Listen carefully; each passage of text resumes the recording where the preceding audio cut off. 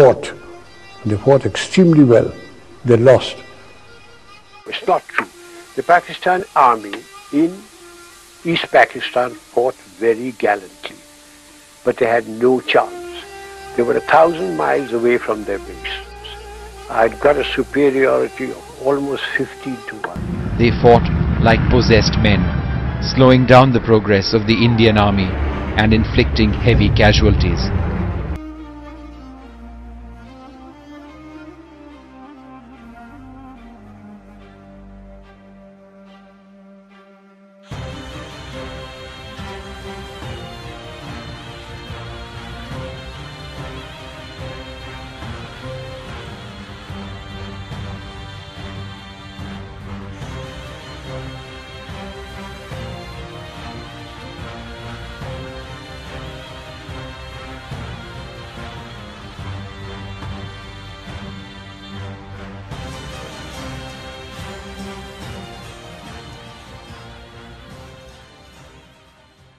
रहीम, मैं हूँ मोहम्मद बिलाल इफ्तार खान और आप देख रहे हैं स्ट्रेटेजिक एनालिसिस ग्रुप दोस्तों, आज 16 दिसंबर है और पाकिस्तान की तारीख के हिसाब से ये एक बहुत अहम दिन है। 1971 में आप जानते हैं, आज ही के रोज फॉल ऑफ़ ढाका हुआ और दुश्मन खुद मानता है कि एक ये ऐसी फतह थी जो कि यकीनी थी, उसकी वजह ये थी कि पाकिस्तानी जो वहाँ पे मौजूद थे, पाकिस्तान आर्मी, पुलिस, रेंजर्स वगैरह, उनका चांस ही नहीं बनता था। They were a thousand miles away from their base. I'd had had eight or nine months to make my preparations. I'd got a superiority of almost 15 to 1. They just had no chance. अभी आपने देखा जो field marshal Manik Shah का shot मैंने चलाया उसमें उन्होंने कहा कि वन रेशियो फिफ्टी जो है वो तादाद एक पाकिस्तानी फौजी के लिए उन्होंने पचास फौजी जो हैं वो तैनात थे उनके और हर चीज़ में उनकी सिक्योरिटी थी दूसरा वाक्य आप जानते हैं, वो तो ताज़ा ही है। कुछ साल पहले एपीएस पिशावर के ऊपर जो हमला हुआ और हमारे बच्चों को इस दफ़ा निशाना बनाया। दोनों हमले जो हैं, वो एक ही दिन क्यों हुए? इनमें कोई ममासलियत है? बिल्कुल है। दोनों का मकसद जो है, पाकिस्तान की रूह जो है, उसे जख्मी करना था। और दोनों के पीछे जो किरदार थे, वो भी आप जानते हैं, कहीं पे मुफ्ती बहनी यूज़ होती है तो कहीं पे मिलिटेंट जो है टीटीपी के यूज़ होते हैं, लेकिन जो दिमाग का फरमा है वो एक ही होता है। हम इस पर भी बात करेंगे। तो sir welcome to the show national power अगर आप गिने तो उसमें नेशनल कैरेक्टर या लीडरशिप का जो कैरेक्टर है, वो बड़ा नुमाया उसकी जगह है। और उसके वजह से जो आपके मुल्क की और जो कौम की जो प्रोग्रेस है और सोच है और एग्जिस्टेंस है, उसको डिफाइन करता है। पहली बात तो ये कि सेवेंटी वन के हवाले से आपने जो इंट्रो में कहा आ, तीन चीज़ें सामने आई जो मानिक शाह ने कही।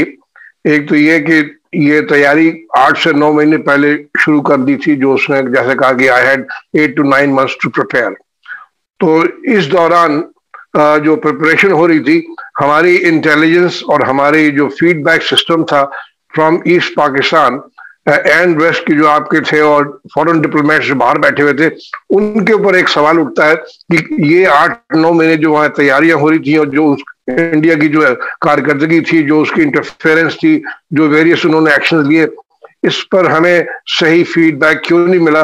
क्या हमें इसकी तैयारी करने में कोई और बेहतरी की जा सकती थी? अगर हमें ये इन्फॉर्मेशन मिलती कि ये होने वाला है बिकॉज़ इंदिरा गांधी का भी इंटरव्यू मैंने एक जगह सुना है, जहाँ वो कहती है कि I I met general field marshal Manekshaw and I told him that this is my plan how much time do you need to execute this उसने कहा, जवाब में कि वन ईयर तो ये आप अंदाज़ा लगाइए कि नेशनल लेवल पर इंडिया में और ये सब तैयारियाँ हो रही हैं और हम हमें ये फीडबैक क्यों नहीं मिल रही? अगर ये फीडबैक मिल रही थी तो हमें एक साल पहले ही मतलब दिसंबर सेवेंटी वन से क्या दिसंबर सेवेंटी से ही ये खबरें आ रही थी तो हमें ने इसकी तैयारी क्यों नहीं की? नंबर एक. नंबर दो, एक बहुत सवाल उठता है सेवेंटी वन के हवाले से कि एक propaganda against the arm forces की ये सरेंडर हुआ और इतना इतने लोगों ने सरेंडर किया, वो भी जो फ़ील्ड मार्शल मानिक शाह ने क्लियर कर दिया कि ये रेशो क्या था? वन टू फिफ्टी का रेशो था।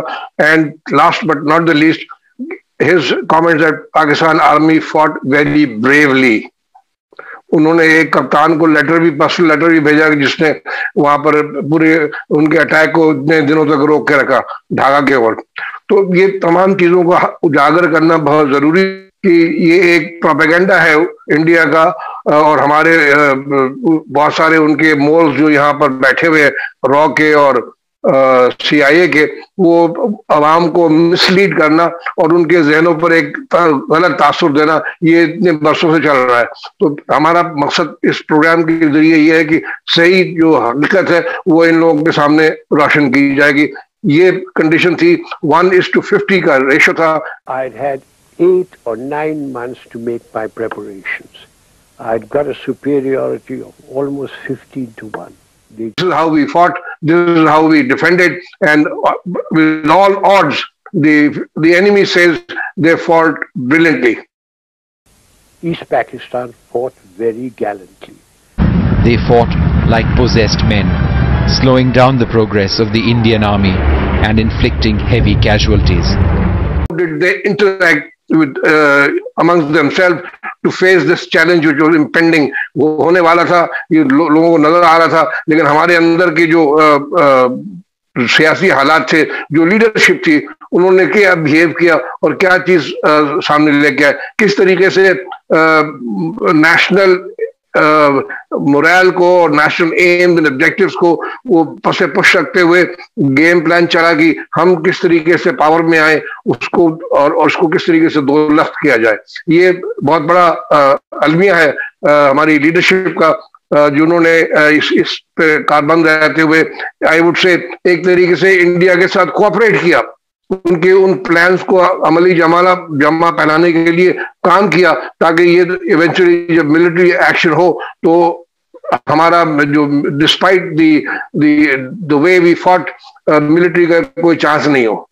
तो इसलिए इस पर बड़ा अफसोस से कहना पड़ता है कि जो मिलिट्री लीडरशिप का जो जो इंटरेक्शन था विद पॉलिटिकल लीडरशिप इसमें बड़े एरियाज़ हैं डार्क एरियाज़ हैं कि क्यों नहीं उसको इसको सही मानों में समझा गया और नेशनल इंटरेस्ट के हवाले से क्यों नहीं उन एक्शंस पर तवज्जो दी गई जो इन चीज़ों को रोका जा सकता था। अच्छा सर, यहाँ पे मैं छोटा सा आपसे कमेंट और उस कमेंट के ऊपर आपका कमेंट चाहूँगा कि देखें, जो आपने कहा कि पाकिस्तान ने क्यों थ्रेट जो है वो परसीव नहीं किया पहले?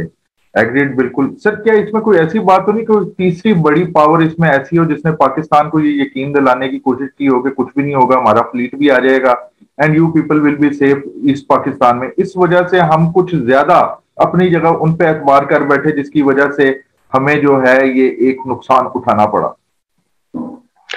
बिलाल, बिल्कुल आप सही करें ये हमेशा इंटरनेशनल पावर्स जो है, वो रीजनल पावर्स को इस तरह के तसलियाँ और इस तरह के कमिटमेंट्स देती हैं। But at the end of the day it is your own ability and your own preparedness जो आपके लिए इस जगह पर कारगर साबित होती है। अगर सुपर पावर ने कहा था कि हम आपको बचाएँगे तो आपने उस चीज़ को टेकन फॉर ग्रांटेड लेते हुए आपने उसके मुताबिक अपने आप को तैयार नहीं किया कि अगर ये ना आए तो फिर क्या होगा। तो इसलिए मैं समझता हूँ कि national character sorry political character जो था at that time decision making का बहुत आपके ईस्ट एंड वेस्ट जो लीडरशिप थी, मुजीब साहब और यहाँ पर भुट्टो साहब, इनके जहनों पर ये चीज़ क्लियर हो गई थी कि हम इसको इस सिमत में लेके जाएँगे। खासतौर पर इसमें अब कोई दो राय नहीं है। इतने साल गुजरने के बाद 50 इयर्स हो चुके हैं। बड़ी हर पहलू पर बात हो चुकी है कि इसमें ये अमल में नहीं होता, आपका डिवीज़न ईस्ट पाकिस्तान नहीं अलग होता। है तो जहाँ पर इंडिया की तैयारी थी मानिक शाह साहब की पूरा उन्होंने उसके मुताबिक अमल किया। वहाँ पर हमारी तरफ़ से उनकी ये सपोर्ट थी कि इन्होंने ये तय कर लिया था उस इलेक्शन के बाद कि हम इसको इकट्ठा नहीं रहेंगे अलग अलग रहेंगे। तो वो सुकूत ढाका जो आज के दिन हुआ वो फिर उसी का नतीजा था जो जिस तरीके से पॉलिटिकल लीडरशिप ने डायरेक्ट किया। मिलिट्री उस डिक्टेटरशिप थी। जनरल Sahib was fair, लेकिन he was manipulated.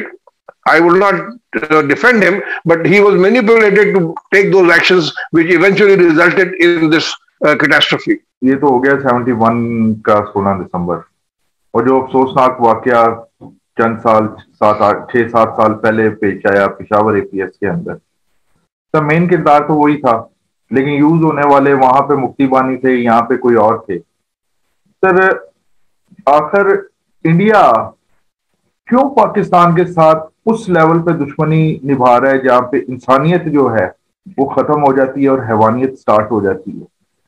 हमने देखा कि उन्होंने जिस तरीके से प्रोपागेंडा किया, जिस तरीके से उन्होंने मुफ़्त बहानी को यूज़ किया खास तौर पे, और उसके बाद यहाँ पे हमने देखा जिस तरीके से मासूम बच्चों को निशाना बनाया गया। तो किस साइड के ऊपर हम किस फिर गलत फहमी में बैठे हैं जो हम में से कुछ हैं जो अमन की आशाएँ चलाना चाहते हैं? जब दुश्मन जो है वो हमारे बच्चों को भी छोड़ने के लिए तैयार नहीं है। तो हम किस गलत फहमी में बैठे हुए हैं, जो अमन अमन के राग अपनाते हैं? बिलाल साहब, ये बहुत ही तकलीफ़ दे सवाल है और उसका जवाब बहुत, उससे ज़्यादा तकलीफ़ दे अंग्रेज़ी की एक राइटर है, जिसका नाम मैं भूल गया, उसकी वो है कि if you lower your guard enemy would exploit it to its maximum मतलब अगर आप अपने गार्ड को, अपने आप पर आप वो चीज़ छोड़ दें तो वो आप प्लेट पर रख के दे रहे हैं। इंडिया का तो बिल्कुल ये बात पक्की है कि उन्होंने आज तक अपने आप को इस बात पर आमादा नहीं किया, ये तस्लीम नहीं किया कि पाकिस्तान एक रियलिटी है। And they continue to harm you they continue to make efforts to break you तो आप अपने हालात अगर सही नहीं करेंगे और आप अपने आप को उस में नहीं लेके जाएँगे, जो मुल्क को स्ट्रांग करती है और मुल्क के लिए बेहतर है तो दुश्मन जो है बार बार आपको मारता रहेगा और एक्सप्लाइट करता रहेगा उन चीज़ों पर और आप, हम बैठ के इस पर तजिया पेश कर सकते हैं, क्योंकि इस पर जब तक आप सही मानों में कौम को और मिलिट्री को और दूसरे स्टेट इंस्टीट्यूशन को एक पेज पे लेके नहीं आएँगे this will continue to happen sir programme का टाइम खत्म हो रहा है नेक्स्ट प्रोग्राम में हम टॉपिक पे आएँगे जो है नेशनल क्रैकर और नेशनल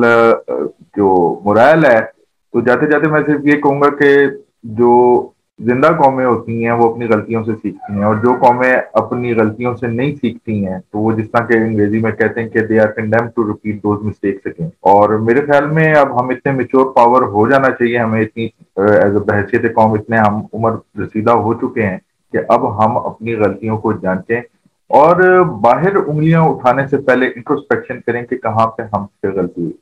और कमज़ोर इंसान जो है, उसके बारे में कहा जाता है कि वो हमेशा टारगेट ढूंढता है, जिसके ऊपर वो अपना मलबा डाल सके। तो अब हमें उस मलबे को डालने से पहले अपने अंदर देखना पड़ेगा कि कहाँ पे हम डिवाइडेड थे, कहाँ पे हमारी सियासत ने हमें डिवाइड किया। लेकिन उसके साथ साथ एक बहुत बड़ा सवालिया निशान उन पॉलिटिकल एक्टर्स के ऊपर है जिस तरह के सर ने भी कहा कि उन्होंने क्या किया।